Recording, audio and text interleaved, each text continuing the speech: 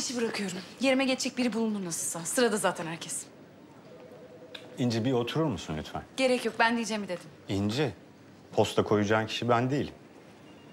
Lütfen oturur musun? Hatırım için.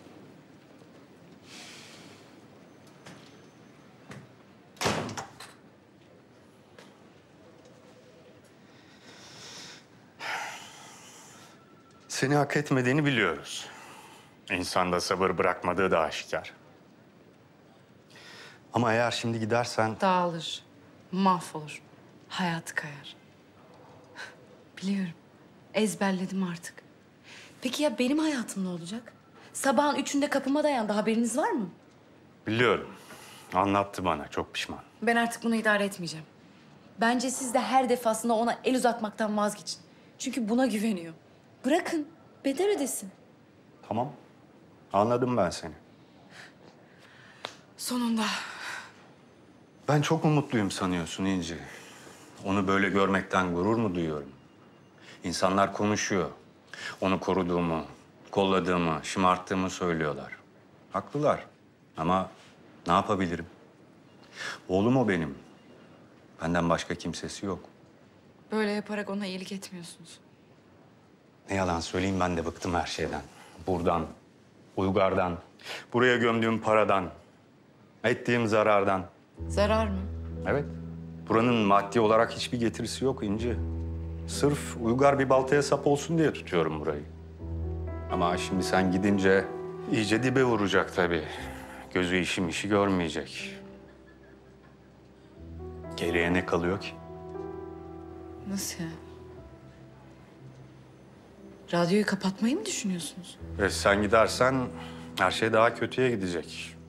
Bir tek sizin program reklam alıyor. Yani o ayakta tutuyor burayı. Onca insan ne yapar? İşsiz kalır. Ekmeklerinden olur. Gerçekten ben de hiç istemem. Ama madem sen kararını vermişsin.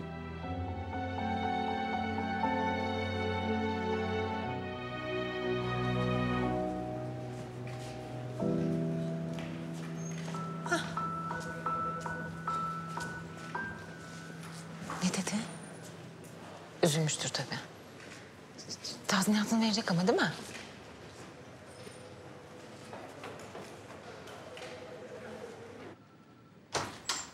Dayı. Ne yaptın? Ne konuştunuz? Kabul etmedin değil mi? Gerçeği söyledim. Ne demek bu? Kalıyor mu yani?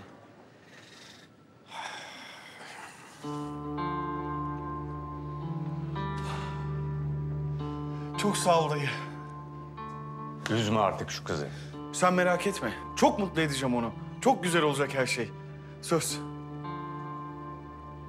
Nasıl ya? Demin çok kararlıydın. Nasıl vazgeçtin? Düşünce sana hak verdim. Ben niye gidiyorum ya? O gitsin. Hem burada işini hakkıyla yapan benim. E peki patrona ne dedin?